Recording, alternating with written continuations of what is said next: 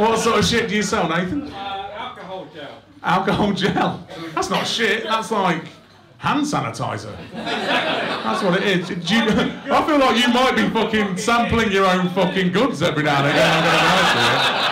Well, you're just constantly just smelling your hands like fucking in Oh, fucking leaves of cabbage.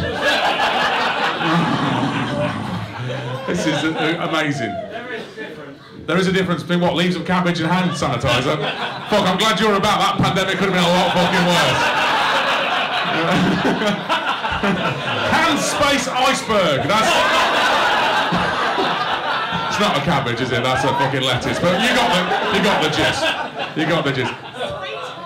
Sweetheart, well done. Thank you very much. Oh, I love you. Look at you. That's a lovely heckle as well. well we've not. We've started cabbage now, haven't we? That's what we started. So some sort of weird cabbage.